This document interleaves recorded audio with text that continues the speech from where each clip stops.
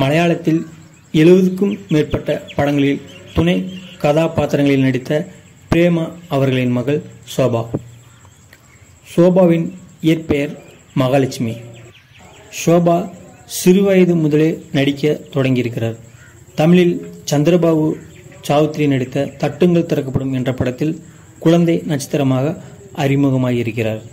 ஆயிரத்தி தொள்ளாயிரத்தி அறுபத்தி ஏழாம் ஆண்டு மலையாளத்தில் பிரேம் நசீர் நடித்த மல்டி ஸ்டார் படமான உத்தியாகஸ்தா என்ற படத்தில் நடித்த பேபி மகாலட்சுமி பேபி ஷோபாவாக மாறினாராம்.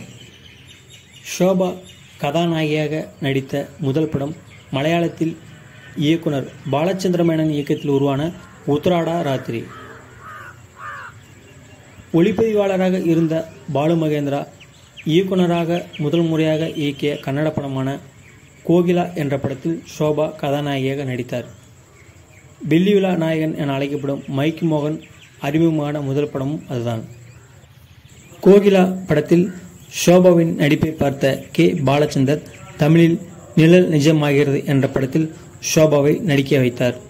நிழல் நிஜமாகிறது படம் முடிந்து வெளிவர தாமதமானதால் காரைக்குடி நாராயணன் அவர்கள் இயக்கத்தில் ஷோபா இரண்டாவதாக நடித்த அச்சாணி என்ற படம் தமிழில் ஷோபா நடித்த முதல் படமாக தமிழில் வெளிவந்ததாம்.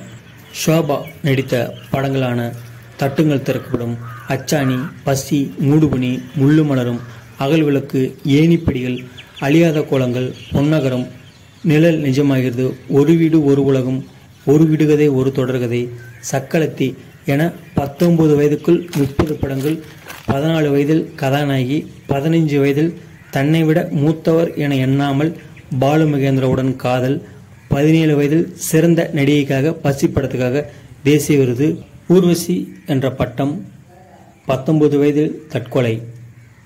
இவர் நினைவாகவே இருந்த இவரது அம்மாவும் சில வருடங்கள் கழித்து தற்கொலை செய்து கொண்டாராம்.